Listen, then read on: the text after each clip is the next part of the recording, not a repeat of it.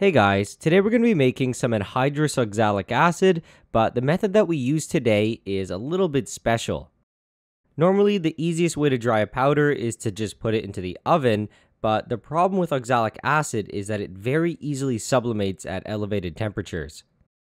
When something sublimates, it converts directly from the solid to the vapor form with no liquid intermediate, and this means that if you were to crank up the heat on oxalic acid, you would vaporize a lot of it and cover the inside of your oven with oxalic acid crystals. To get around this problem and to dry my oxalic acid, I used a technique known as azeotropic distillation, and I'll elaborate on the details of this technique as the video progresses. For most applications, the hydrated oxalic acid is perfectly fine, but I want to make some oxalyl chloride, and to do this, I need everything to be perfectly dry. Once I make the oxalyl chloride, I can make something called TCPO, which is basically the chemical in glow sticks that allows them to glow. As usual, I'm going to mention that I used yet another Doug's Lab video as a reference for this, so if you enjoyed this video, I highly recommend that you check out his channel, and I'm going to leave a link in the description. Besides oxalic acid, the only other thing that we really need in terms of chemicals is some toluene. Toluene is a good solvent to use because it doesn't dissolve oxalic acid, but it forms an azeotrope with water. I don't really want to get into the details here of what an azeotrope is, but basically, a mixture of 80% toluene to 20% water by weight boils at around 20 degrees lower than pure water and about 30 degrees lower than pure toluene. So basically what's going to happen is as we heat things up, the oxalic acid is going to release water into the toluene, and the water and toluene are going to boil away as a mixture.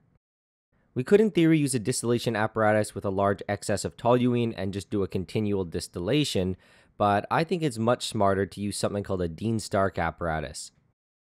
So this is what a Dean Stark apparatus looks like. On the right side, we attach it to the flask, and on the left side, above it, we'll have our condenser.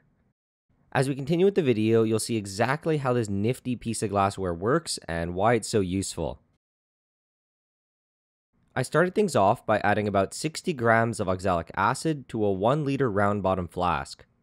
On top of the oxalic acid, I pour in about 400 milliliters of toluene.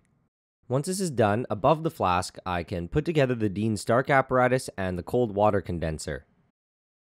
Because we're using a stir bar to stir things, we need to use an excess of toluene because if we used more oxalic acid, it could easily jam up the stir bar and things would get stuck. So just to stay on the safe side, we use the large excess of toluene, but if you have something like a mechanical stirrer, then you could use more oxalic acid. The way that I heated the flask is a little bit ghetto, and it's just hovering a little bit above the surface of a hot plate. The reason I had to do this is because I didn't have a container large enough to make an oil bath for a 1 liter flask, and apparently my heating mantle's too thick for the stir bar to work through it. To help keep the flask hot, I insulated it with a very small amount of aluminum foil. As things start to heat up more, we can see our vapor front moving up through the Dean Stark apparatus. What's happening here is the hot vapors from the flask are traveling up to the Dean Stark apparatus and condensing on the cold walls. The vapors slowly heat up the walls of the apparatus, though, so they slowly travel up. Eventually, the vapors will make it all the way up to the cold water condenser, where they'll recondense and fall back down to the area on the left. It's going to have a slight milky white color here when it recondenses, because remember the vapors contain both water and toluene. In the liquid form, water and toluene aren't miscible, so when they're mixed, they become slightly cloudy. As we continue to collect more, the toluene and water will separate into layers where the water's on bottom and the toluene's on top. If we look closely, every so often, we can see a little bit of water sinking from the top to the bottom. So ideally what's happening is the water is sinking to the bottom, but the toluene is falling back into the flask.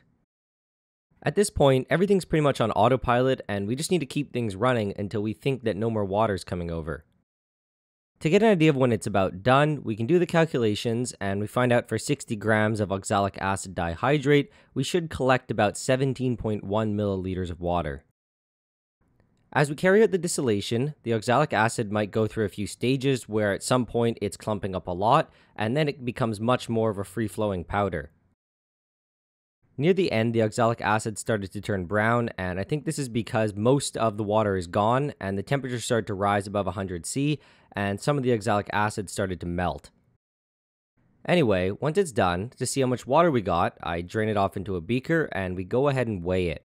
I get a mass of about 16.75 grams, which is about 0.35 grams off of the theoretical.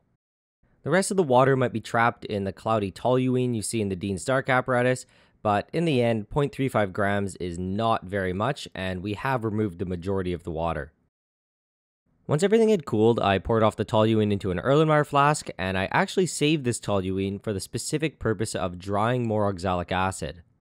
If you don't want to throw it out, I really wouldn't recycle it in new reactions because even though the oxalic acid isn't very soluble in it, it still is going to contain a little bit of oxalic acid.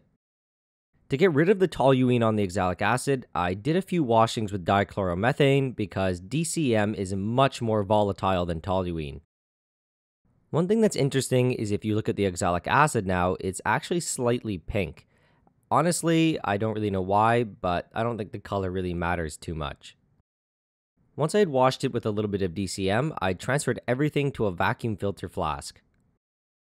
When I turn on the vacuum, everything is very quickly pulled off, and I go ahead and wash it a few more times with a little bit of DCM.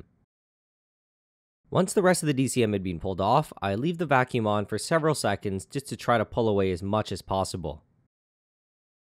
The oxalic acid should be relatively toluene free at this point, but to fully get rid of most of the DCM, I transfer it to a crystallizing dish and I let it evaporate.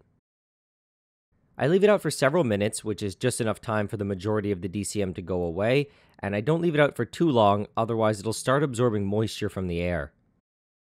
I transferred everything to an Nalgene bottle for storage, and at this point you can see that it's not really pink, but it still is a little bit off-white. In the end, I was left with nearly the theoretical amount of anhydrous oxalic acid, which was about 43 grams. Like I said before, I do plan to use this oxalic acid to make something called oxalyl chloride, which in turn will be used to make something called TCPO. I'm not really sure when I'm going to get around to making the oxalyl chloride, but I am going to promise that it will happen eventually. So, as usual, a big thanks goes out to all of my supporters on Patreon, but I have to give a very special thanks to everyone who donated $5 or more. Like I said in a previous video, I kind of have too many $5 supporters to realistically read out each of your names, but just know that I still love you all.